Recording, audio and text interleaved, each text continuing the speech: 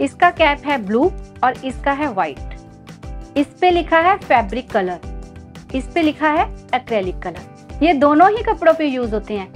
पहले तो सिर्फ़ यही आते थे कलर, एक्रेलिक कलर। पिछले कुछ सालों से ये फैब्रिक कलर आने स्टार्ट हुए हैं। पहले यही चलते थे। इसको हम कपड़ों पे निश्चिंत होके यूज़ कर सकते हैं। ये थोड़े से ज़्यादा सॉफ्ट होते हैं। जैसे हम बिल्कुल कॉटन पे यूज़ करेंगे तो हमको यही यूज़ करने चाहिए। ये बहुत आ, मतलब होता है कि आसानी से नहीं मिलते। अगर नहीं मिल रहे तो आप इसको यूज़ कीजिए। इसके साथ थोड़ा सा वाटर मिक्स करके यूज़ कीजिए या फिर मीडियम यूज़ कीजिए।